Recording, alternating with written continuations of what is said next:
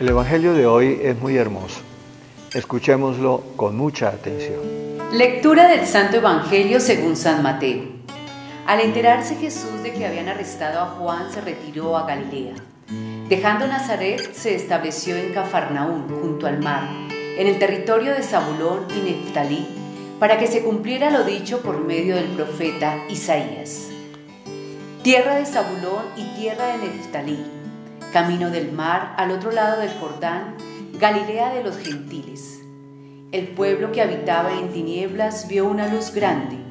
A los que habitaban en tierra y sombras de muerte, una luz les brilló.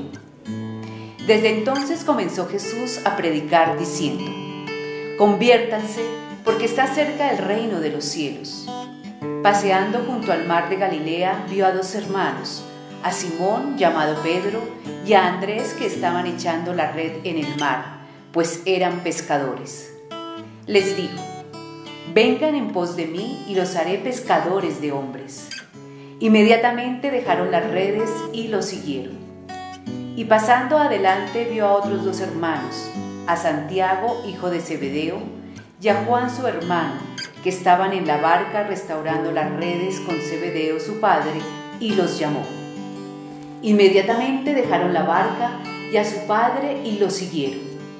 Jesús recorría toda Galilea enseñando en sus sinagogas, proclamando el Evangelio del reino y curando toda enfermedad y toda dolencia en el pueblo. Palabra del Señor. Este Evangelio que acabamos de escuchar tiene como dos grandes partes. En la primera se muestra cómo la predicación, el ministerio de Cristo nuestro Señor realiza todas las promesas hechas por los profetas en el Antiguo Testamento del Salvador que viene a traer la luz de Dios sobre la humanidad. Y una luz que viene sobre todos los seres humanos. La región de Neftalí, Zabulón, toda esta parte de Galilea era considerada tierra de paganos.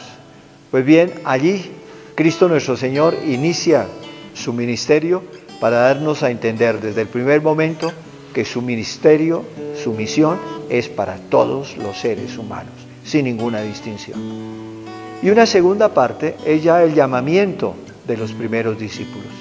Esto es bien interesante porque implica que nuestro Señor desde el primer momento de su ministerio quiso asociarse a su tarea un grupo de personas. Y no los más inteligentes. El Papa Francisco con mucha frecuencia nos hace caer en la cuenta de que el Señor no nació en un palacio hijo de un emperador, sino que nació en un pesebre y se rodeó de gente humilde, campesinos, bueno, más que campesinos, pescadores, gente sencilla, gente humilde de la Galilea. Entonces, en ese llamamiento que el Señor hace a estos pescadores, también estamos nosotros todos involucrados, porque desde el primer momento el Señor nos invita también a todos nosotros, representados en aquellas dos parejas de pescadores, a que de, verdad lo sigamos y que seamos también nosotros de alguna manera pescadores de hombres. Es decir, que en primer lugar nosotros, cada uno de nosotros, en nuestra vida personal, sigamos a Cristo, seamos discípulos de Cristo. Discípulo es el que aprende, y el que aprende no simplemente una teoría, sino el que imita al maestro. Es aquel que vive como vive el maestro. En este caso concreto, Cristo es nuestro maestro y nosotros somos sus discípulos.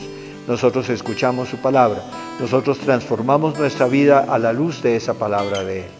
Pero al mismo tiempo tenemos que llevar a los demás, por eso el Señor inmediatamente les dice, los voy a hacer pescadores de hombres. Es decir, los envía de alguna manera ya desde ese momento a misión.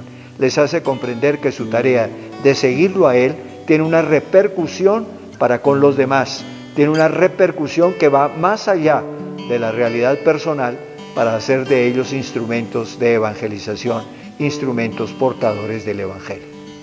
Discípulos misioneros. Ese es como los dos aspectos que al mismo tiempo están íntimamente unidos en la identidad nuestra como cristianos.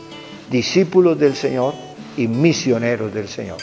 Vivimos cada uno de nosotros en nuestra vida personal la realidad de que Cristo nos salva, nos libera, nos ilumina, nos conduce y al mismo tiempo nos hacemos testimonio hacia los demás de esta vida que vivimos como fruto de la salvación que el Señor realiza en nosotros y que por lo tanto nos permite poder llevar a los demás, invitar a los demás a que ellos también reconozcan a Cristo y lo sigan y transformen su vida.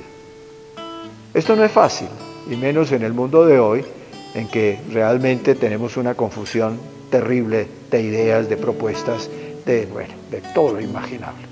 Pero nosotros sabemos que hemos encontrado la luz, que estamos iluminados permanentemente por esa luz y por lo tanto damos testimonio de esa luz. La bendición de Dios Todopoderoso, Padre, Hijo y Espíritu Santo, descienda sobre ustedes y permanezca para siempre.